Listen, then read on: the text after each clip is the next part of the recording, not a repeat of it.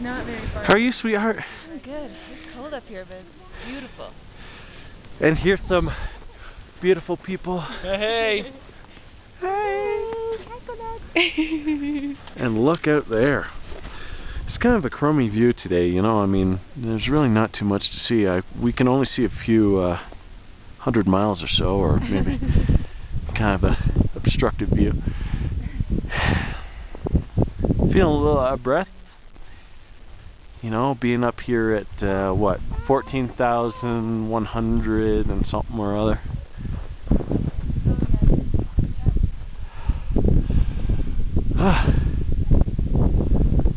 and there's the place that has some really cool donuts.